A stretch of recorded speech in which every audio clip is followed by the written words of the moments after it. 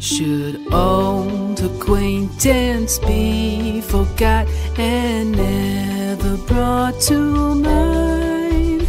Should old acquaintance be forgot and all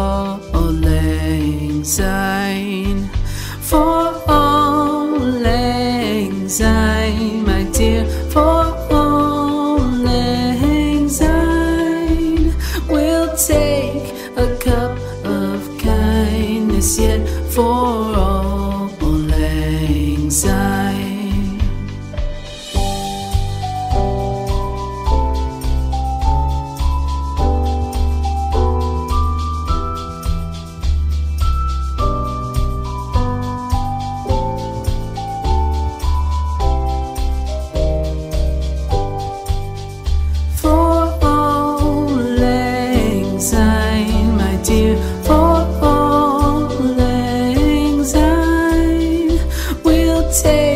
A cup of kindness yet for all lang for all lang my dear, for all lang we'll take a cup of kindness yet for all lang.